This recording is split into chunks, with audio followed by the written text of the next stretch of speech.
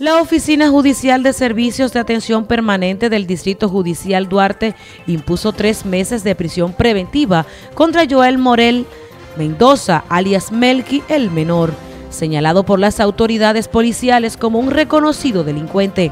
Además, acusado de herir de bala a un hombre en esta ciudad de San Francisco de Macorís. La medida cautelar deberá ser cumplida en el Centro de Corrección y Rehabilitación Vista al Valle hasta finalizadas las investigaciones, donde resultó también herido Juan Dolores Sosa en los solares invadidos en el sector Mamatingó. Esto en medio de discusión según informe remitido por la institución del orden. Para NTN, su noticiero regional, Joanny Paulino.